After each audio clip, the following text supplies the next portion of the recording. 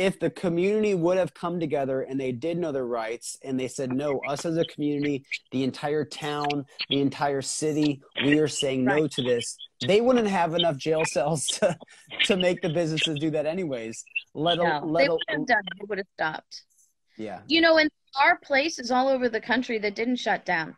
There's a there's even there are sheriffs that refuse to allow the state police or the county officers come and shut businesses down. One of them was um, uh, Mike Herrington in Chaves County, New Mexico, who actually published an open letter uh, that he sent to the governor saying, "I'm the sheriff.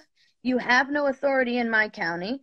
Every business is essential when people are are keeping their you know funding their families and and providing for their families. And he says and he quoted the new mexico constitution and said uh, there will be no one who will be forcibly shut down in my county. Wow. And and the county was not harassed. Now the governor of new mexico went apoplectic but and started stomping her feet and holding her breath and making threats. But the bottom line is this. There were there was no authority in her threats she's a bully. And we saw this happen in every single state in the union. Even california and new york had sheriffs who refused to allow their communities be shut down.